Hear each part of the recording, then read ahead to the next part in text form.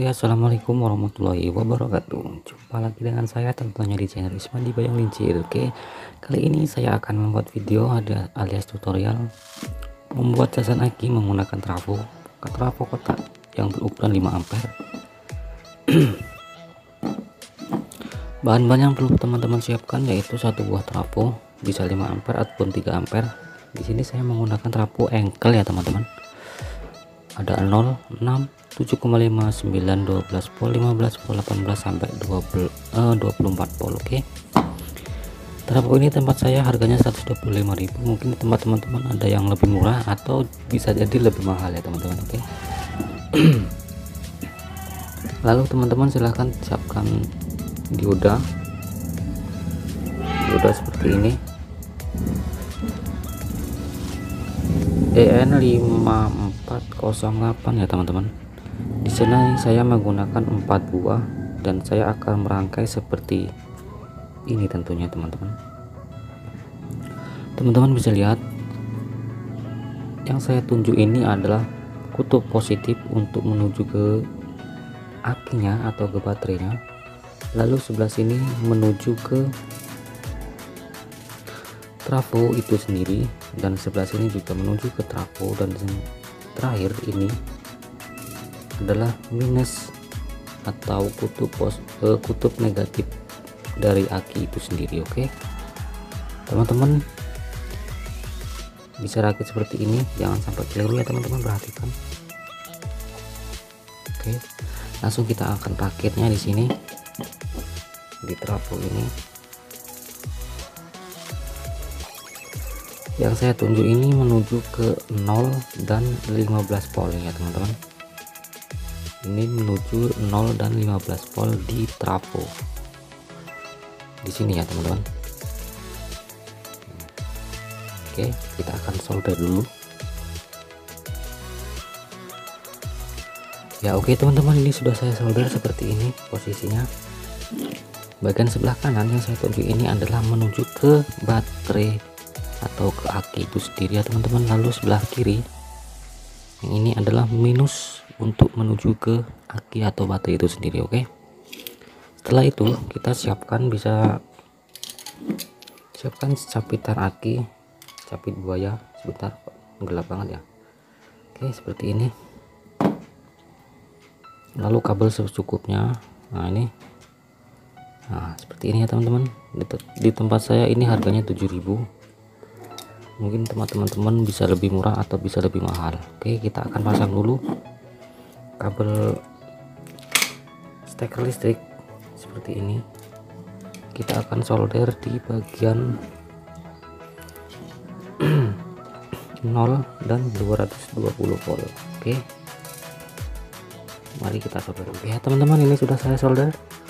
Kabelnya sudah saya pasang.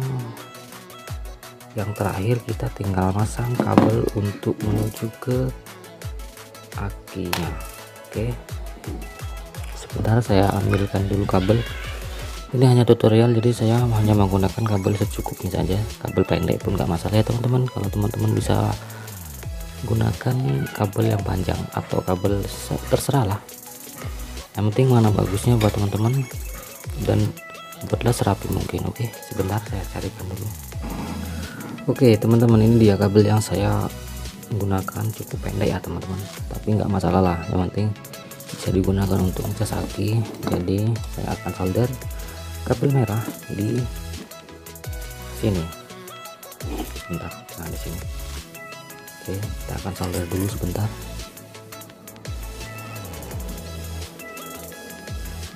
Oh ya teman-teman untuk dioda ini teman-teman bisa cari di bekasan pun nggak masalah ya. Biasanya di TV pun ada uh, atau mungkin di biasanya di power OCL 150 watt juga ada. Nggak perlu harus baru. Bekas pun jadi nggak masalah. Karena di TV atau di power OCL tuh jarang juga terjadi kerusakan dioda bisa juga kerusakan tapi jarang sekali. Oke teman-teman kabel putih saya solder di bagian sebelah kiri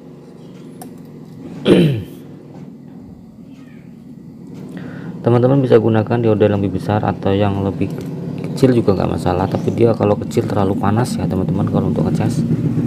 Oke seperti ini. Teman bisa lihat ya ini untuk untuk positifnya. Aduh sorry di luar agak berisik. Oke kita akan pasang di sini. Kita akan solder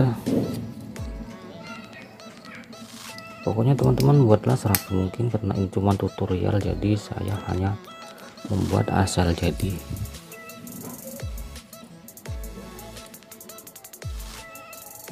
Oke seperti ini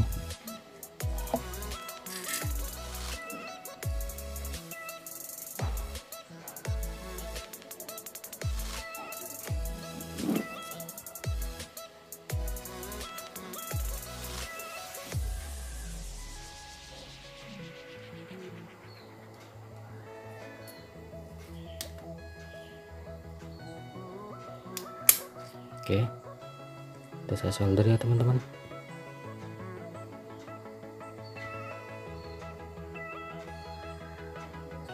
Nggak fokus. Nah ini. Oke sudah. Saya tutup kembali. Lalu sebelah lalu sebelahnya kabel putih untuk capitan yang warna hitam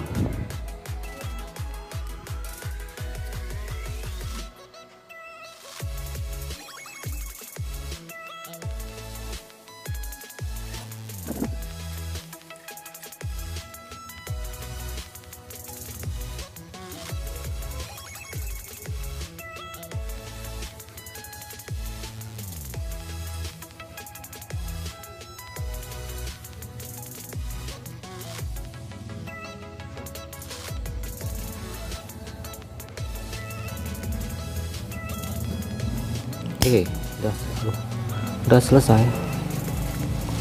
Seperti ini sudah selesai ya.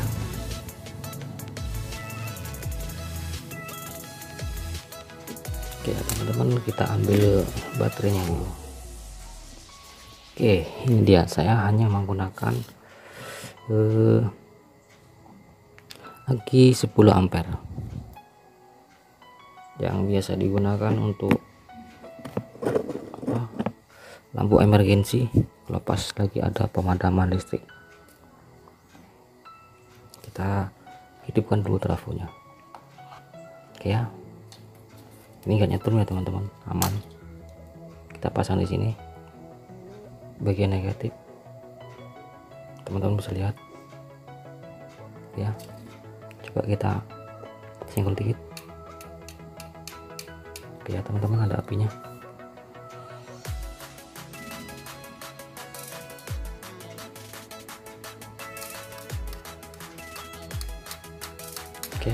kita pasang di positifnya. Jelas. udah. Seperti itu ya teman-teman. Enggak enggak begitu repot. Pengisiannya ini sekitar kalau untuk 10 ampere sekitar 3 jam atau 4 jam mungkin kurang lebih sekitar sekitar itulah sudah bisa digunakan. Pada video sebelumnya saya juga pernah membuat uh, casan aki tanpa menggunakan sebuah trafo ya teman-teman teman-teman bisa lihat di link deskripsi saya. Ada di link deskripsi saya. Teman-teman bisa cek. Di situ ada uh, tutorial membuat casan aki tanpa trafo oke. Terima kasih ya teman-teman. Wassalamualaikum warahmatullahi wabarakatuh. Salam jumpa lagi di tutorial yang lainnya